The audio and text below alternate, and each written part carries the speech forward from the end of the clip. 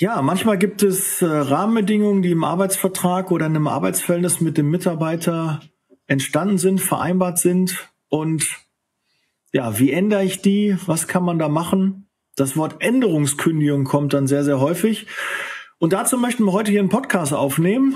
Und äh, ich habe wieder Dr. Alexander Bissels von CMS zu Gast. Ich freue mich sehr, Alex, dass du wieder dabei bist, weil das Thema, ich denke, da bist du sehr, sehr fit drin, sehr firm drin, ist regelmäßig wahrscheinlich Gesprächsgegenstand von zahlreichen Beratungen und auch äh, das eine oder andere Mal äh, bei Gericht ist das das Thema, wie es mit einer Änderungskündigung aussieht. Und da wollen wir uns mal so langsam drauf äh, ranwagen, weil so eine Änderungskündigung erfordert eigentlich schon ein paar Dinge, die man im Voraus schon macht. Aber lass uns äh, dann direkt einsteigen. Erstmal herzlich willkommen, Alex. Schön, ja, dass du im Podcast bist. Vielen Dank, lieber Daniel, für die Einladung. Ich freue mich, dass wir zu diesem Jahr sehr praktischen und dann demgemäß auch spannenden Thema Änderung von Arbeitsbedingungen äh, Änderungskündigungen uns hier austauschen können. Ja, äh, grundsätzlich eine Änderungskündigung ist äh, äh, laienhaft, ne, bitte korrigier mich, ist eine einseitige Sache vom Arbeitgeber her. Oder könnte auch der, der Mitarbeiter eine, eine Änderungskündigung von seiner Seite machen?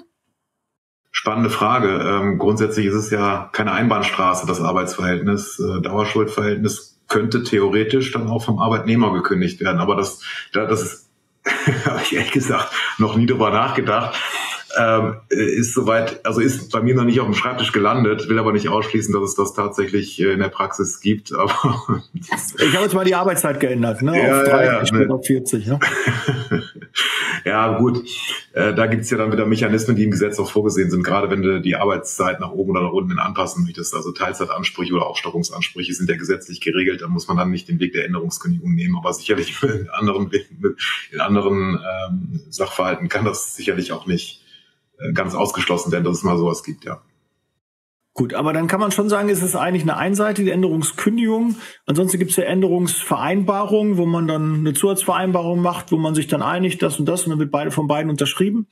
Aber bei einer Änderungskündigung heißt das ja, ich als Beispiel jetzt als Arbeitgeber kündige einen Passus, verändere einen Passus im Vertrag und setze den Mitarbeiter quasi vor vollendete Tatsache. Kann man das so, ist das so richtig definiert? So kann man das äh, im Grundsatz sagen. Ähm, bevor wir dann auf die Änderungskündigung ähm, im Einzelnen kommen, noch mal einen Schritt zurück. Du sagtest ja gerade, es gibt auch andere Mechanismen, Arbeitsbedingungen, gewisse Modalitäten im Arbeitsverhältnis zu ändern. Ähm, und die sollten vom Arbeitgeber natürlich äh, vorher angedacht und auch möglicherweise durchgeführt werden, bevor man dann zur Änderungskündigung schreitet. Äh, du hattest es gerade schon angesprochen.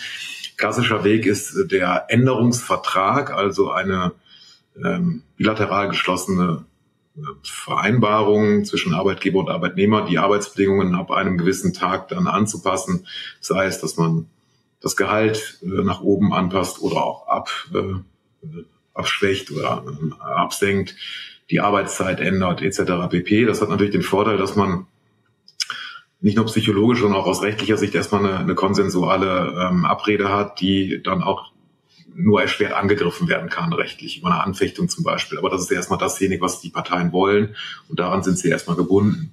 Zweite Möglichkeit ist der sogenannte Änderungsvorbehalt, den man im Arbeitsvertrag... Also das erste war Änderungsvertrag? Änderungsvertrag, ja. Ja, und das andere ist der Änderungsvorbehalt? Änderungsvorbehalt, genau. Den, den findet man, ähm, kann man einseitig äh, dann ausüben, muss allerdings vereinbart werden ähm, Grundsatz vereinbart werden. Klassischer Fall, was man ja auch in den Arbeitsverträgen von externen Mitarbeitern findet, Änderung des Arbeitsortes. Es steht eben drin, dass der Personaldienstleister ähm, den Arbeitsort bei verschiedenen Kunden in der Regel bundesweit festlegen darf. Äh, steht also nicht drin, Arbeitsort ist Köln oder Düsseldorf oder whatever, mhm. sondern es steht eben drin, wechselnde Einsatzorte. Das ist ja ein, ein sogenannter Versetzungsvorbehalt, ne? also dass der Arbeitgeber eben einseitig festlegen kann, du arbeitest heute dort, morgen dort und übermorgen dort. Ähm, ist also keine Kündigung, die ausgesprochen werden muss, sondern ein per einseitiger Erklärung des Arbeitgebers angeordnet werden kann, dass dann eben ein, die Arbeit auf die ein oder andere Art und Weise zu erbringen äh, ist. Anderes mhm. Beispiel ist eben ähm, fließt eben auch aus dem arbeitgeberseitigen Weisungsrecht, dass man dem Mitarbeiter gewisse Tätigkeiten zuweisen kann, die ja auch nicht immer abschließend im Arbeitsvertrag definiert sind, sondern dann einem gewissen Tätigkeitsprofil zuzuordnen sind. Beispielsweise Helfer steht dann drin und dann kann man dem Mitarbeiter eben alles, was dann eben ähm, mit Helfertätigkeiten verbunden ist, zuweisen, ohne dass man sagt, du machst eben nur das und das. Weil die Idee so ein bisschen, noch mal ein bisschen mehr darüber nachzudenken, weil ich das immer wieder mitbekomme, dass einige Personaldienstleister auch Leerlaufzeiten haben, also keine Einsätze für Mitarbeiter, aber eventuell hätten sie zu veränderten Rahmenbedingungen ähm, eine, eine Möglichkeit, die Mitarbeiter einzusetzen. Wir haben das jetzt ja gerade im Pflegebereich sehr stark, dass die Mitarbeiter ja in so einer Hochphase häufig eingestiegen sind, wo die einen sehr, sehr guten Stundenlohn haben. Und äh, wir mittlerweile feststellen, dass die Kunden nicht mehr bereit sind, diesen Stundenlohn in Form des Verrechnungssatzes und den wirtschaftlich darzustellen, ähm, ja, das nicht mehr bereit sind zu zahlen. Und was habe ich jetzt für Möglichkeiten? Kündige ich den Mitarbeiter, weil ich zu diesen Rahmenbedingungen keine Aufträge mehr bieten kann. Aber ich habe einen Rahmenvertrag mit einem großen, mit einer großen Kette, mit einem großen Altenheim-Träger, äh, mit einem, und jetzt könnte ich, wenn ich jetzt sage, okay, drei, vier, fünf Euro weniger die Stunde, dann habe ich auch wieder Aufträge. Könnte ich ja überlegen, bevor ich den Mitarbeiter komplett kündige und aus dem Arbeitsverhältnis quasi dann äh, entlasse, dass ich nur eine Rahmenbedingung ändere und sage, okay, unter den Bedingungen und vielleicht habe ich ja nachher nochmal die Möglichkeit, auch wieder einen höheren Stundenlohn zu zahlen, wenn sich die Auftragslage wieder anders besser entwickelt, wenn die Marktsituation besser ist, ähm, ist vielleicht eine schönere Lösung, als den Mitarbeiter dann dauerhaft nicht im Einsatz zu haben und dann komplett das Arbeitsverhältnis, ähm, das dann aufgelöst werden muss. Ähm, das ist ja, glaube ich, so auch mal was auch für den Mitarbeiter würde ich sagen, ist nicht so positiv, aber ich glaube, es ist schon positiver, wenn ich nur einen, einen Rahmen, eine Rahmenbedingung ändere, die mich in eine wirtschaftliche Situation bringt, dass ich wieder den Mitarbeiter überlassen kann, bringt, bevor ich dann ein Arbeitsverhältnis komplett dann beende, ohne eine Möglichkeit der, der weiteren Zusammenarbeit. Ja, wir müssen natürlich mal gucken, wenn wir über Entgelt sprechen, was ja auch so ein klassischer Angriffspunkt für, äh, Ansatzpunkt für Änderungskündigung dann tatsächlich ist.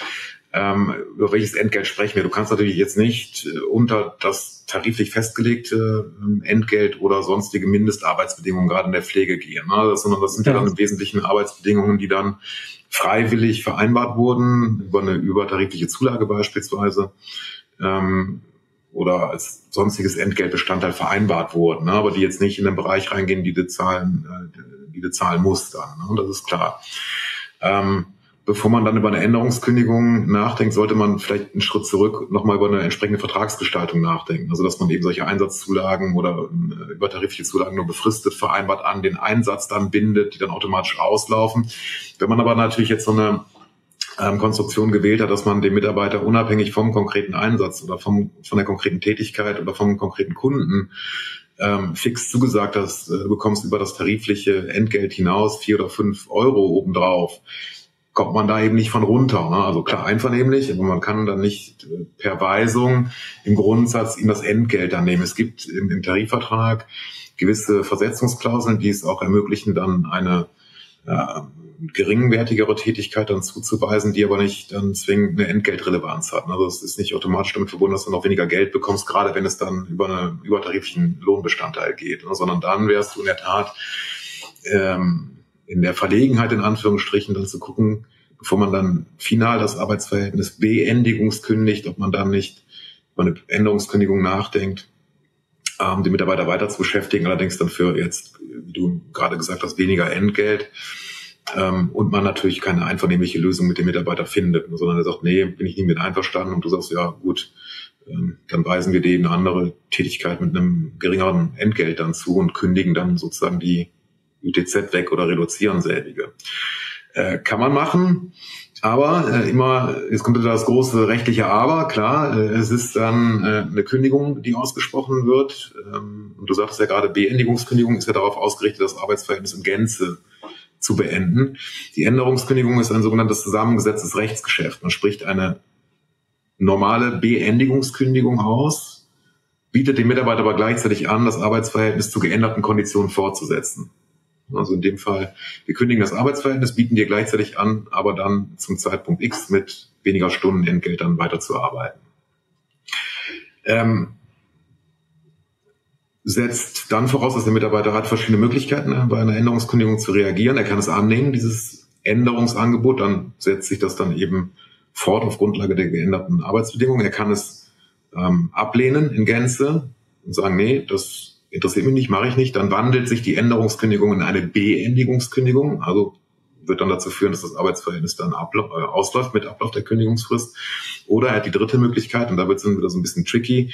Er kann sagen, ja, ich nehme an, aber nur unter dem Vorbehalt der sozialen Rechtfertigung. Also nur wenn diese Änderung, die du möchtest und die du durch die Änderungskündigung herbeiführen möchtest, dann auch sozial gerechtfertigt ist. Also ähm, dann vom Arbeitsgericht geprüft wird und das Arbeitsgericht dann sagt, nachher sagt, ja, das war sozial gerechtfertigt, dann ändert sich der Arbeitsvertrag wie vom Arbeitgeber gewünscht.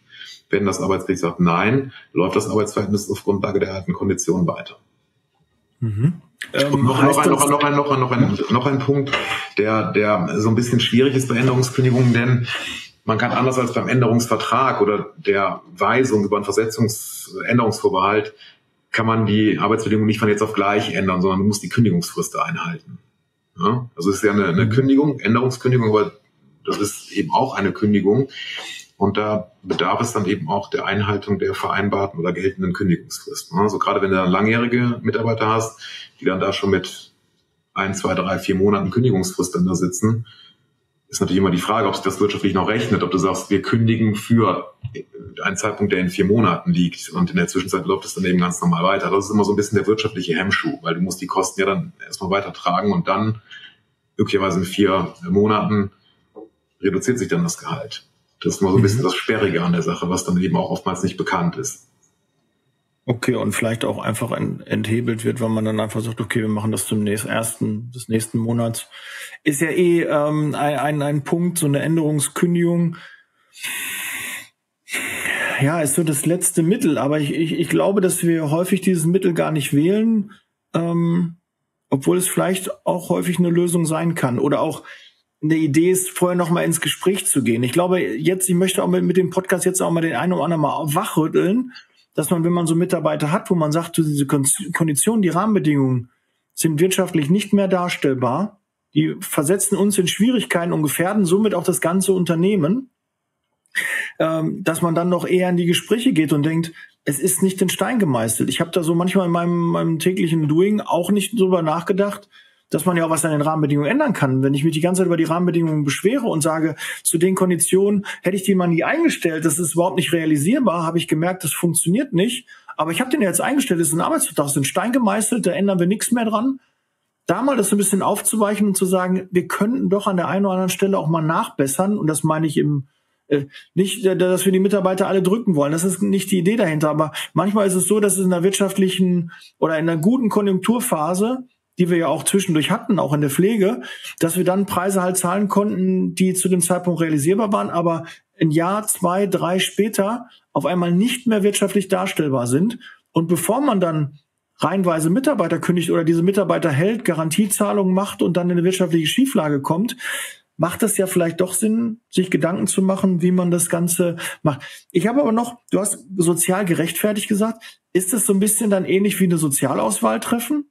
Oder hat das damit nichts zu tun? Ist das, doch, ja, doch, also das, das, das ist schon das richtige Stichwort. Ähm, äh, wenn man eine Beendigungskündigung ausspricht, braucht man ja einen Kündigungsgrund, der betriebs-, verhaltens- oder personenbedingt sein muss, äh, um dann eben die Kündigung als sachlich und rechtlich berechtigt dann äh, anzusehen. Und das Ganze bedarf es auch bei, das Ganze bedarf es auch bei einer Änderungskündigung. Also du musst dann eben die zu ändernde Arbeitsbedingungen muss dann eben auch, wenn du unter das Kündigungsschutzgesetz fällst, den allgemeinen Voraussetzungen muss dann aus betrieblichen, aus ähm, verhaltens- oder personenbedingten Gründen muss das sachlich gerechtfertigt sein. Und da kann unter anderem auch, gerade bei, das ist bei betriebsbedingten Gründen eine, eine Voraussetzung, spielt, spielt auch die soziale Rechtfertigung, also die Sozialauswahl eine mögliche Rolle, nämlich dass man dann möglich, je nachdem, was du da ändern möchtest, dass man dann auch unter den sozial vergleichbaren, den oder unter den vergleichbaren Mitarbeitern den sozial am wenigsten schutzwürdigen rauspickst. Ne? Also du redest jetzt ja, da, da geht ja so ein bisschen die Reise hin, ähm, dass man das betriebswirtschaftlich nicht mehr abbilden kann, was man da mal vereinbart hat. Du sagtest gerade Pflege, dass man da zu Hochpreisen ja relativ hohe Vergütungen gezahlt hat, die sich jetzt möglicherweise aufgrund der allgemeinen Marktentwicklung nicht mehr beim Kunden realisieren lassen, dass das Ganze also dann kippt, du also viel höhere Kosten hast, als dann tatsächlich eingespielt werden können durch den Mitarbeitereinsatz und du sagst, wenn wir das so machen, ist es ein Minusgeschäft für mich. Ich zahle also drauf, bekomme also das, hm. das nicht rein. Das unternehmerische Risiko steigt. Ne? Das ist halt wirklich so. Genau. Ist auch nicht an den Haaren herbeigezogen, sondern das ist was, was ich in vielen Beratungen und äh, Gesprächen und jetzt auch letztes Mal den KI-Kompetenztagen auch mit dem einen oder anderen besprochen habe, wo ich sage, okay, das scheint auch wirklich was zu sein, was, was viele Leute, was viele Menschen betrifft, viele Dienstleister betrifft. Und das können wir nicht wegschweigen, sondern da müssen wir eben eine Lösung erarbeiten. Und es gibt ja Lösungen und da wollen wir natürlich gucken, wie man die am, am sinnvollsten einsetzt, weil ich hätte jetzt auch zum Beispiel gedacht, okay, ähm, habe gar nicht gewusst, dass das wirklich auch dann der ganze Arbeitsvertrag dann auch quasi dann gekündigt ist, wenn der Mitarbeiter das nicht annimmt. Aber vielleicht ist dem Mitarbeiter gar nicht so bewusst, auch da eine Aufklärungsarbeit leisten, zu sagen, mal zu, ähm, wegen den drei Euro wäre jetzt der Arbeitsverhältnis komplett, ne? Oder wir gucken mal oder wir, wir machen irgendwie noch variabel, wir knüpfen das an Bedingungen, dass wenn du mit in, in dem und dem Geschäftsfeldbereich eingesetzt bist, dann können wir dir trotzdem noch als Beispiel die drei Euro zahlen, wenn in dem Bereich dann nur ein Euro oder normal zu den Konditionen dann halt nur mit diesem Preis. Weil natürlich, ähm, man könnte ja klassisch, man hat eine examinierte Pflegefachkraft, Jetzt mal als Beispiel fingiert 25 Euro die Stunde, ist die Mitarbeiterin eingesetzt. Jetzt habe ich aber durch die Auftragslage habe ich nur die Möglichkeit, sie irgendwo als Helferin, den Mitarbeiter als Helfer einzusetzen, als Pflegehelfer. Kann er ja genauso, ja, ist er sicherlich überqualifiziert. Aber wenn ich dann den Mitarbeiter Dauer 25 Euro weiterzahle und äh, ne, dann ist es wirtschaftlich gut. Dann würden aber einige, wie siehst du dann, wenn einer sagt, die Mitarbeiter sagen dann, ist doch nicht mein Risiko, das ist doch, dafür bist du doch Unternehmer, ist doch dein, dein wirtschaftliches Risiko, musst du doch selber äh, dann irgendwie tragen. Aber dadurch gefährde ich ja trotzdem die Arbeitsplätze der anderen und muss ja gucken. Ich versuche ja, da eine Lösung zu erarbeiten. Oder wie siehst du das? Wie, wie kannst du das so ein bisschen nachvollziehen, dass dir der Wunsch der Personaldienstleister da nach Veränderungen auch ähm, besteht? Ja, natürlich, der Wunsch besteht selbstverständlich, äh, dass natürlich ein Arbeitnehmer sagt, ja, packt das uns der Wander, also Verträge sind erstmal verbindlich und du, lieber Arbeitgeber, hast es ja mal zugesagt, du musst dich auch dran festhalten lassen, du trägst das unternehmerische Risiko, ist ja erstmal nur billig und recht, auf eine vertragliche Vereinbarung zu bestehen, die man mal ähm, abgeschlossen hat, gerade weil das ja auch dann je nach Lebenslage drei, vier, fünf Euro weniger durchaus, je nachdem, was man für Verbindlichkeiten hat, für den Mitarbeiter elementare Auswirkungen haben kann. Ne? Aber das kippt natürlich ein bisschen, wenn man dann durch diesen, ich sage jetzt mal, Egoismus, jetzt nicht im übertragenen Sinne Egoismus, dann äh, das Unternehmen an sich gefährdet, weil wenn dann noch eine ganze Anzahl von anderen Mitarbeitern solche Konditionen haben und es die Auftragslage schlichtweg nicht hergibt, wird man als Arbeitgeber nachher natürlich nicht mehr viele Möglichkeiten haben. Entweder die Gesellschafter müssen zuschießen, um dann sozusagen äh, einen Zustand zu schaffen, dass man auch über ähm, den Zeitraum hinaus perspektivisch, sage ich mal, bis dann die Auftragslage wieder anzieht, das zu überbrücken. Oder man ist natürlich dann in einer Situation, dass man dann, dass einem nichts anderes übrig bleibt, als dann zu versuchen, auch einseitig dann entsprechende Maßnahmen einzuleiten, um dann den Kostenapparat zu senken. Und da ist das Mittel der Änderungskündigung natürlich nicht ganz fernliegend, um dann auch ähm, ohne eine Verhandlung und, ein und eine Zustimmung des Mitarbeiters dann in einen Bereich zu kommen, der es erlaubt, dass das Unternehmen zukünftig auch wieder wirtschaftlich arbeitet und nicht gerade nicht gefährdet wird. Aber das ist man natürlich schon in so einem Grenzbereich. Ähm, ab wann kann man das denn machen? Also man kann als Arbeitgeber ja nicht beliebig dann sagen, ich verdiene zu wenig beispielsweise, will sozusagen meine Rendite erhöhen die eh positiv ist und optimieren und kündige dann aus diesen Erwägungen. Das ist ja jetzt auch nicht ganz fernliegend aus unternehmerischer Sicht. Ne? Da ist die Rechtsprechung sehr eng, gerade wenn, wenn es um Entgeltreduktion geht, dass man dann schon in so einen Bereich reinkommt, dass man äh, als, als Sanierungsfall im übertragenen Sinne gilt und dass man als Unternehmer dann auch ähm, ein, ein entsprechendes Sanierungskonzept entwickelt oder ein wirtschaftliches Konzept vorlegt, um zu gucken, wie, wie kriegen wir dann das Gesamtunternehmen wieder auf die Spur. Und da mag ein Bestandteil auch die Reduktion von Entgelt bei Mitarbeitern sein, aber nicht nur. Ne? Man kann das dann nicht nur ausschließlich auf die Mitarbeiter abwälzen, sondern man muss eben, ja, man hat dann auch irgendwo anders noch gespart. Also jeder leistet dann seinen Beitrag, damit das eben nicht unausgewogen wird und dann eben das unternehmerische Risiko dann vollends auf die Mitarbeiter abgelastet werden kann. Und dann muss man natürlich dann in der Breite schauen, wo kriegen wir dann noch weitere Cost-Savings generiert, um dann das Unternehmen zukunfts orientiert aufzusetzen. Ich hätte noch mal so ein Beispiel, Alex, da würde mich mal interessieren, wie du damit um, rechtlich umgehen würdest. Ähm, ist auch sicherlich was, was jeden Tag da draußen äh, ein paar Mal auch passiert. Äh, regionales Zeitarbeitsunternehmen setzt seine Mitarbeiter so 30 Kilometer um den Wohnort herum ein. Man hat ein gewisses Kundenklientel, man hat einige Kunden, die in dem Umkreis des Standortes so 30 bis 50 Kilometer entfernt mhm. sind. Jetzt haben wir einen Mitarbeiter, der verliebt sich neu und der zieht auf einmal muss ja noch niemals einen ganz anderen Ort, irgendwie so, ich weiß nicht, irgendwie 200, 500 Kilometer weit weg sein, aber allein schon irgendwie 80, 90, 100 Kilometer weit entfernt, heißt ja für mich als Dienstleister ja auch, ich habe eigentlich keinen Auftrag mehr für den Mitarbeiter oder er muss besonders weit fahren. Und wir wissen ja auch, wenn ich dann auf einmal dem Mitarbeiter sage, ja gut, dann fährst du halt 60, 70, 80, 90 Kilometer, weil du hast dich jetzt außerhalb unseres Gebietes äh, eine neue Unterkunft gesucht, du hast dich da verändert örtlich, ähm, habe ich ja ein Riesenthema. Aber eigentlich habe ich ja im Vertrag stehen, vielleicht sogar bundesweit, aber ich, ich praktiziere das gar nicht, dieses bundesweite, sondern der hat sich einfach nur jetzt bisschen weiter und beschwert sich dann, dass die Einsätze so weit weg sind. Such mir doch was in der Nähe. Ne? Ist doch, ich biete meine Arbeitsleistung an. Wie würdest du damit umgehen? Gibt es da Rahmenbedingungen, die man äh, schaffen kann, von, auch von, von rechtlicher Seite, dass man sich da absichert? Ja, schwierig ist es natürlich in Arbeitsverträgen so eine Art Residenzpflicht zu begründen. Also, dass man sagt, du nimmst deinen Wohnort, äh, deinen Wohnsitz nur in einem gewissen Radius um den Unternehmenssitz, weil wir da unsere Kundenstruktur haben. Sondern dann muss man in der Tat sagen, äh, dass man eben gerade, dass man bei dem, bei dem Thema Versetzungsklauseln, dass man eben nicht sagt, äh, du bist bundesweit einsetzbar, sondern beschränkt man, das sind dann eben 20, 30 Kilometer um den aktuellen Sitz des Unternehmens herum bekommst du Einsätze zugewiesen.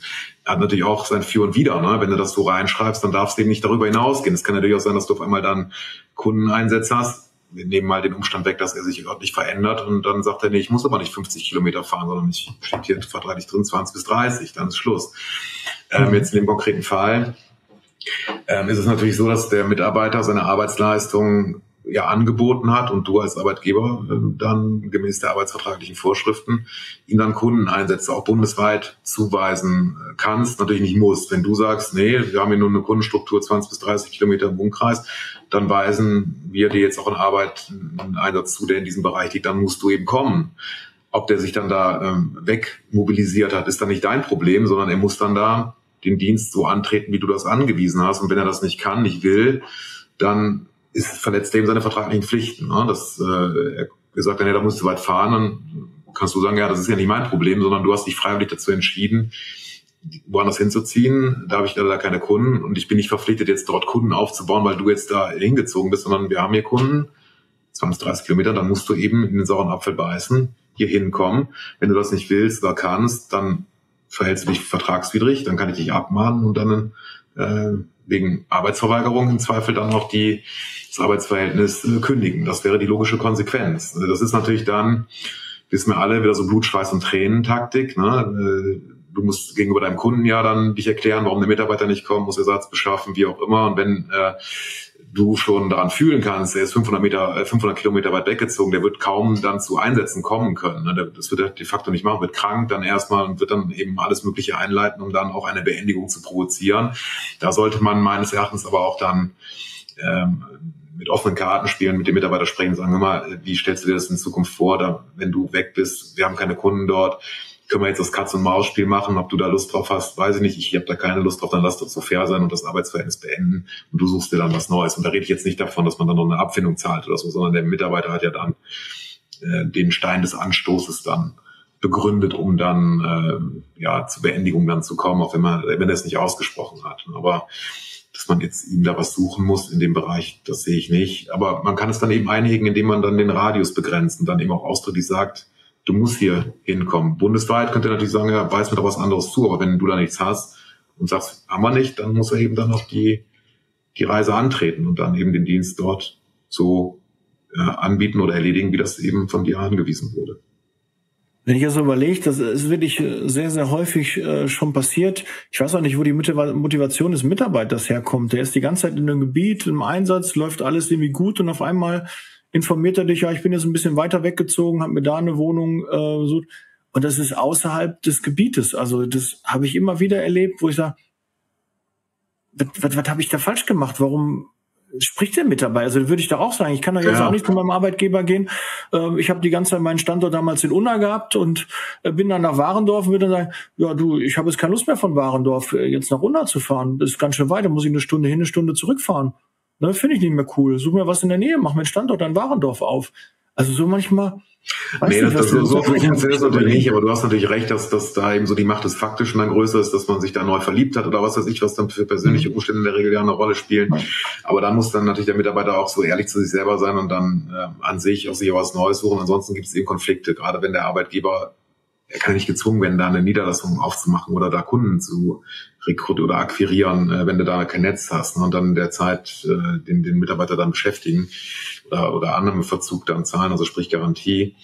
Äh, hat aber natürlich dann jetzt nichts mit Änderungskündigungen zu tun, ne, sondern die. Aber wäre ja die Folge dann daraus. Die müsste dann eine Änderungskündigung machen und sagen wir immer zu. Ich habe eigentlich nur regional jetzt als Beispiel, wenn ich jetzt nicht bundesweit hätte, dann müsste ich ja dann eine Regel machen, okay, dann müsste ich halt auch bundesweit äh, dann eine Änderungskündigung machen, dass das Einsatzgebiet ja, ja, ja, du, du könntest ja theoretisch, wenn das nicht begrenzt hat, bundesweit ähm, einsetzen, aber das möchtest du ja vielleicht gar nicht, sondern du möchtest ja nur regional ähm, einsetzen. Dann kann man natürlich auch einen Radius arbeitsvertraglich einziehen, wenn du es nicht hast.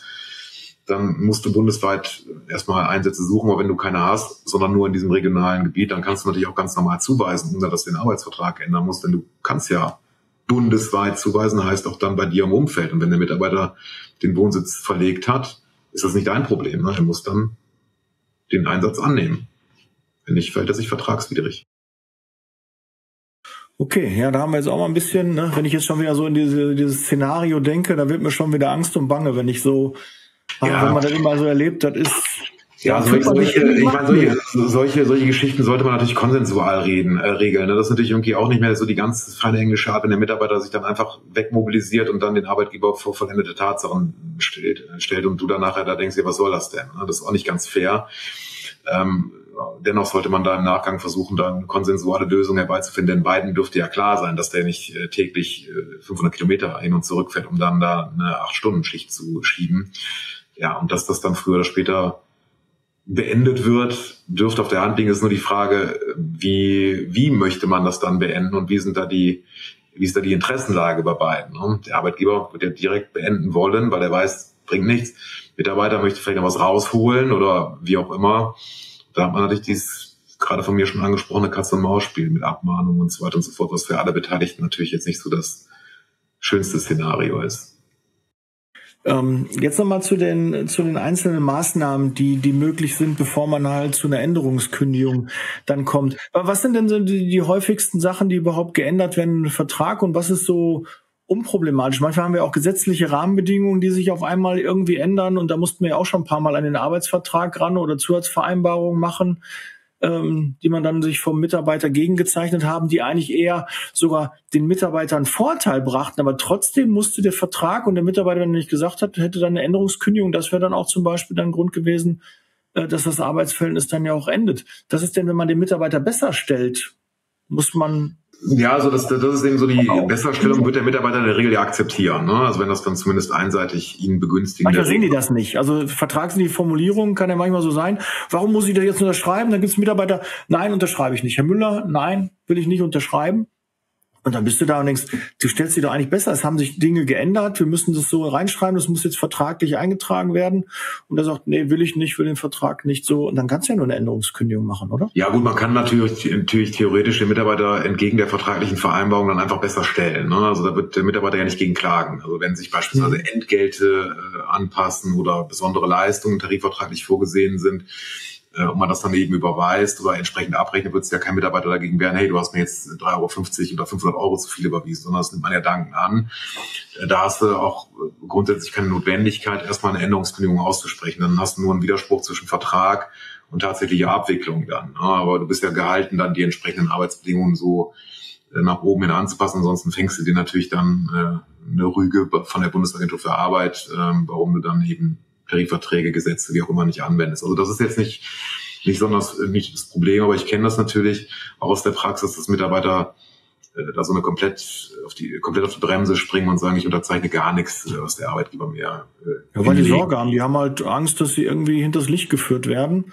Die vermuten halt, dass hinter jedem Baum ein Feind ist und äh, dann will man das immer. Manchmal hat man ja so, so Arbeitsverhältnisse, die irgendwie ein bisschen zerrüttet sind, da gibt es irgendwie Probleme und dann kommst du mit so einer Änderung und dann sagen die, nee, warum? Ne? Die wollen jetzt was von mir. Jetzt kann ich mal Macht demonstrieren und dann spielen die das manchmal so aus. Ja, also man muss dann eben im Einzelnen schauen, was, was wird denn dann tatsächlich oder muss geändert werden. Es kann natürlich sein, dass sich dann gewisse gesetzliche Anforderungen auch zulasten des Mitarbeiters ändern. Ähm, auch da kommt es natürlich im Einzelfall darauf an, was ist denn das? Ne? Dann, ähm, wenn das natürlich zwingende Vorschriften äh, sind, die jetzt auch gerade aus übergeordneten allgemeingültigen Interessen dann da reingeschrieben oder ins Gesetz aufgenommen wurden, muss man natürlich gucken, wie, wie das mit dem Arbeitsvertrag kollidiert. Äh, führt das dazu, dass die bisherige Regelung nichtig wurde? Dann hat er natürlich keinen Anspruch darauf. Oder ist es dann einfach eine äh, Nice-to-have-Regelung, ne? wo man dann sagen kann, da kollidiert dann das Gesetz mit dem Arbeitsvertrag, aber der kann dann eben darüber hinausgehende Ansprüche aus nach Günstigkeitsprinzip aus dem Arbeitsvertrag dann ableiten. Also das muss man vielleicht ein bisschen spezifizieren. Äh, worum geht's da? Aber nicht jede gesetzliche oder tarifliche Änderung rechtfertigt dann eine Änderungskündigung. Also man hat das mal diskutiert im Zusammenhang mit Änderungen von AGB-Recht, was auch für Arbeitsverträge gilt, ob das dann eben Änderungskündigungen rechtfertigen. Das wird man so in der pauschalen Art und Weise nicht bejahen können. Also Hintergrund ist, dass auf einmal arbeitsvertragliche Regelungen unwirksam wurden, beispielsweise Ausschlussfristen, weil der Gesetzgeber höhere Anforderungen an die Wirksamkeit solcher Ausschlussfristen gesetzt hat.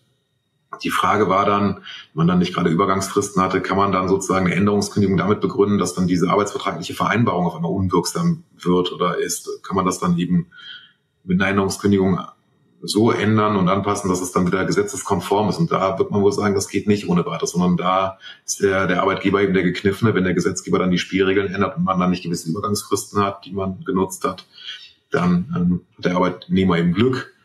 Ähm, die, die Regelung, die zu seinen Lasten wirkt, wird dann unwirksam und der Arbeitgeber kann sich nicht darauf berufen. Mhm. Änderungen im Tarifvertrag, ist es auch ähm, muss ich da im Arbeitsvertrag auch nochmal aktiv werden? Müsste da auch noch was geändert werden? Oder ist das, muss der Mitarbeiter das akzeptieren, weil das ja, man hat, man, man, man, hat ja in der Regel eine dynamische Bezugnahmeklausel drin. Ne? Es gelten ja die tariflichen Bestimmungen ähm, anhand der jeweils gültigen Fassung des Tarifvertrages. Heißt also, er wird immer wieder äh, automatisch neu in das Arbeitsverhältnis dann eingespielt und dann entsprechende Änderungen gelten dann auch automatisch, ohne dass es einer Änderung bedarf. Aber es kommt natürlich darauf an, wenn es da gewisse Spezialisten, in Anführungsstrichen in der Branche gibt, die dann so links und rechts des Weges ein bisschen was geregelt haben, was Tarifverträge jetzt nicht so ganz 100 Prozent abbildet, was mit Blick auf Abbedingungen von Equal Pay, Equal Treatment sowieso kritisch ist, könnte natürlich so ein Mitarbeiter daherkommen und sagen, hey, das ist günstiger als mein Arbeitsvertrag, deswegen bleibt er eben auf dem Arbeitsvertrag haften. Also das ginge schon. Und da muss man natürlich gucken, was hat man da konkret vereinbart? Ähm, was geht es da? Das ist schwierig, da so eine pauschale Beurteilung jetzt hier ähm, abzugeben. Was, was muss ich jetzt eigentlich, Alex, das war jetzt mal so eine Frage, habe ich auch eine, eine, eine Nachricht bekommen, ähm, fast jetzt nicht ganz, aber es passt so ein bisschen in den Tarifvertrag rein. Ähm, was schreibe ich denn derzeit in den äh, Tarifvertrag, äh, in meinen Arbeitsvertrag rein? Machen wir laut IGZ oder BAP oder kann ich jetzt schon GVP schreiben oder wie müsste ich jetzt mich eigentlich richtig äh, verhalten? Weil es gibt ja noch keinen neuen äh, gemein, äh, gemeingültigen äh, Tarifvertrag für den GVP. Also, also du hast recht, es gibt ja eben noch die beiden ursprünglichen Tarifwerke, äh, BAP und IGZ, die auch überführt wurden auf den GVP und äh, das heißt, die bisher BAP bzw. IGZ-Tarifverträge angewendet haben, nehmen natürlich in ihren Arbeitsverträgen weiterhin Bezug auf dieses Tarifvertragswerk, aber empfehlenswert ist, einen Zusatz reinzunehmen, dass dann eben diese tariflichen Regelungen abgelöst werden automatisch abgelöst werden durch dann vom GVP irgendwann einmal hoffentlich dann vereinheitlichte Tarifwerke, dass man also da nicht nochmal um die Häuser gehen muss und dann die ganzen Unterschriften einzusammeln, sondern dass man dann über die Dynamik, die dadurch entsteht, sagt, so, gegenwärtig wird alles, was BAP bzw. IGZ ist, abgebildet, auch dynamisch. Wenn es dann zu einer Bereinigung kommt, also Zusammenführung der Tarifverträge, dass dann eben ersetzende, ergänzende oder ändernde Tarifverträge, die seitens dann des GVP für den gesamten Verband abgeschlossen werden, also IGZ, äh, BAP und IGZ-Mitglieder, dass man dann automatisch überführt und dann nicht noch eine Unterschrift benötigt. Okay, aber heißt ja eigentlich, wenn wir das mit reinschreiben wollen, ist es ja wieder eine Änderung des Arbeitsvertrages und dann müsste ich damit wieder eine Unterschrift holen vom Mitarbeiter, oder? Ja, klar, bei Neueinstellungen kannst du natürlich machen. Wenn du es natürlich bei ja. Altverträgen äh, drin hast, dann wäre es eine Vertragsänderung, die man natürlich einvernehmlich umsetzen kann oder dann per Änderungskündigung. Stellt sich natürlich die Frage, ob man dann einen Grund dafür hat, das jetzt zu ändern, weil erstens weiß man ja nicht, ob es kommt. Also das hoffen wir alle und gehen auch alle von aus und man weiß nicht, wann es kommt. Also ob man jetzt schon sagen kann, man hat einen, ja, einen betrieblichen Grund, das wäre es ja, ähm, auch einen dringenden betrieblichen Grund, jetzt dafür zu sorgen, dass die Bezugnahmeklausel per Änderungskündigung der Gestalt angepasst wird, um dann gerüstet zu sein für eine Vertrag, Tarifvertragsumstellung. Da würde ich mal ein großes Fragezeichen dran machen. Also das dürfte schwierig werden, das jetzt zum gegenwärtigen äh, Zeitpunkt zu begründen, weil man noch gar nicht weiß, kommt was und wie sieht das dann aus und wann erfolgt das. Sondern da muss man dann gerade wenn man dann eine höhere Fluktuation hat, sollte man natürlich jetzt anfangen, die Verträge zu ändern, damit man perspektivisch dafür gerüstet ist und dann zu gucken, ja, dem wann kommt, wie viel haben wir noch im Altbestand.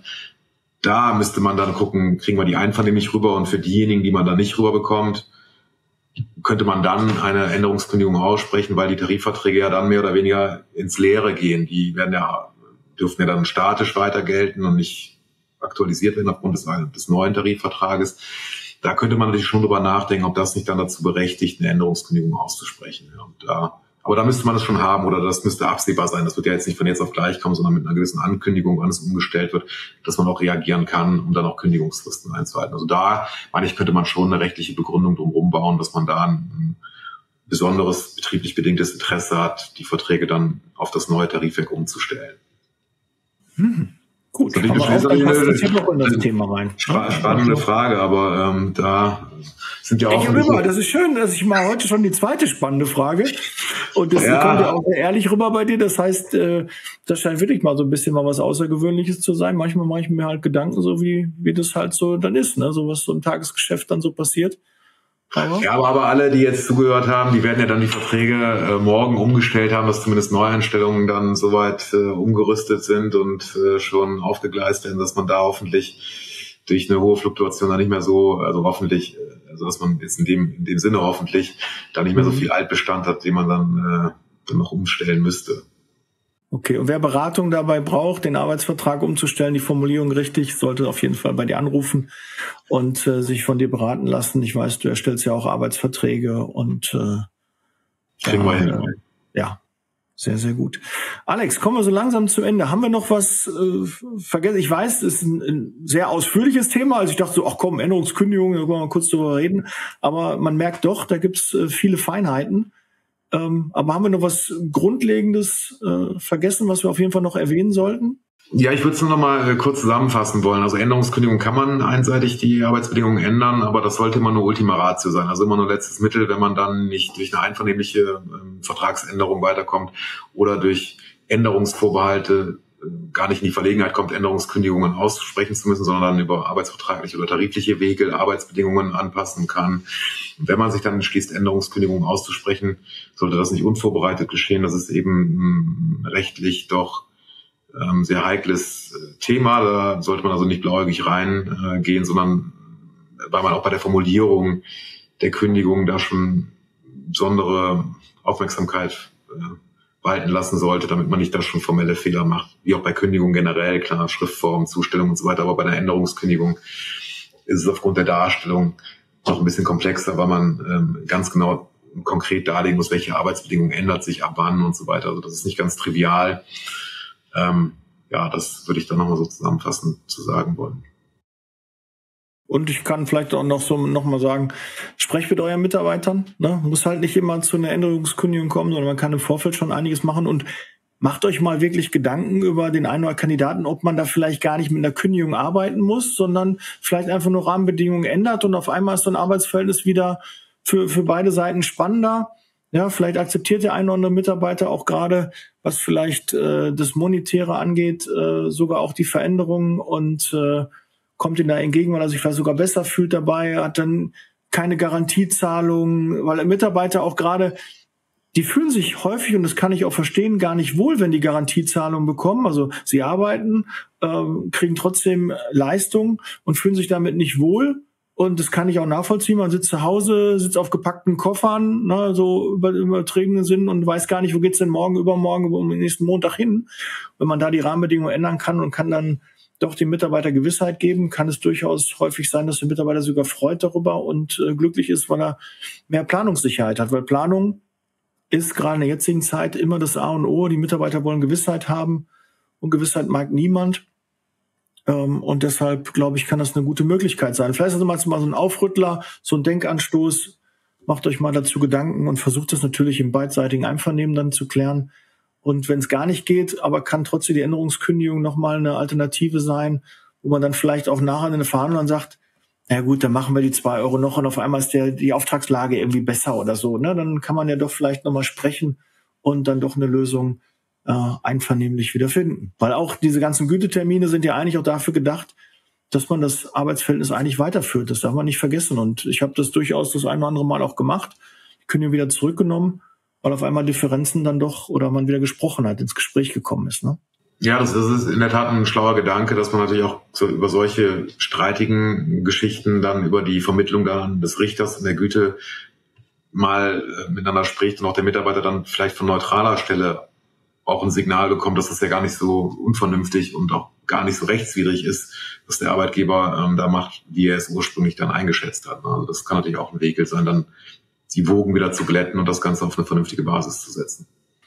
Hatten wir schon mal bei einem anderen äh, Podcast äh, gemeinsam auch schon mal angekündigt, aber ich glaube, man kann es nicht häufig genug sagen, ne, dass das ja dafür auch gedacht ist und dass man eine Lösung finden kann.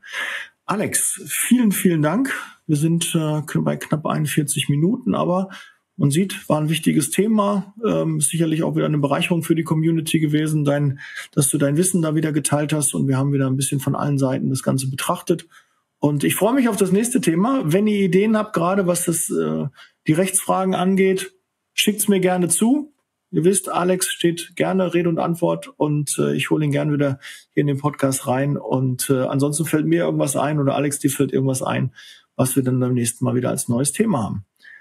Also vielen Dank, viel Erfolg weiterhin, eine schöne Restwoche wünsche ich euch, eine erfolgreiche Woche und ähm, ja, wir hören und sehen uns im nächsten Podcast. Bis bald. Ciao. Vielen Dank, Daniel. Bis dahin. Ciao. Ciao. Der Podcast wurde unterstützt von HR4U, ihrer HR-Software.